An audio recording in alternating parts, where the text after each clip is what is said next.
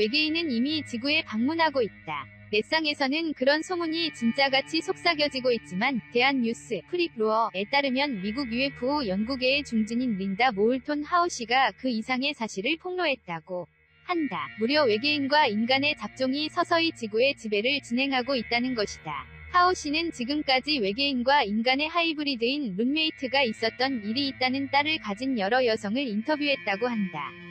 그중 한 명인 헬렌 리토렐 씨에 따르면 그녀의 딸의 룸메이트는 아보카도와 같은 푸른색의 눈을 하고 안구에 수직으로 검은 선이 있어 평범한 인간의 눈으로는 보이지 않았다고 한다. 그래서인지 그녀는 항상 안경을 쓰고 눈을 가리고 있었다고 한다. 터무니없는 이야기이지만 하오 씨가 그렇게 말하는 것이니까 이것은 진실일 것이다. 미국의 인기 래퍼 카니에 웨스트는 자신이 starseed 우주인과의 하이브리드임을 폭로하고 있다. 카니에 웨스트 정도의 유명 인사뿐만 아니라 일반 사람들 속에도 하이브리드가 섞여 있다고 하면 그 숫자는 상상 이상 방대한지도 모른다. 이것도 모두 우주시대의 개막을 향해 있을까? 그 증거로 프리브로어에 따르면 외계인의 세 가지 유형 중 그 하나의 미래의 인류, 외계인과 인간의 하이브리드가 더해지게 된다고 한다. 1. traders, 상인, 트레이더는 큰 눈을 가진 작은 외계인. 이른바 그레이인 것이다. 제타 성인이라고도 일컬어진다. 그들은 코 같은 작은 비강과 귀 같은 작은 구멍을 머리에 가지고 있다. 음식은 스스로 생산하는 합성식품이라고 생각되고 있다.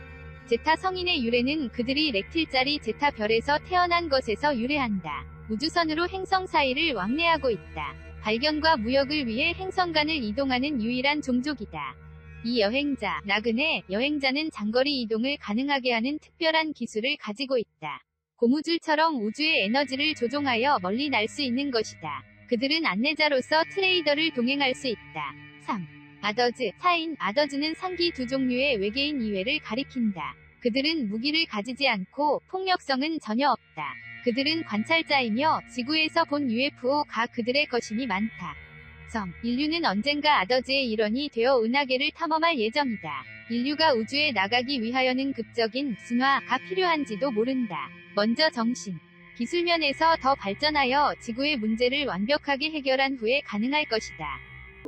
시청해주셔서 고맙습니다. 좋아요를 눌러주세요. 반드시 채널을 등록하시고 알림을 켜주세요. 새로 영상이 등록되면 바로 아실 수 있습니다.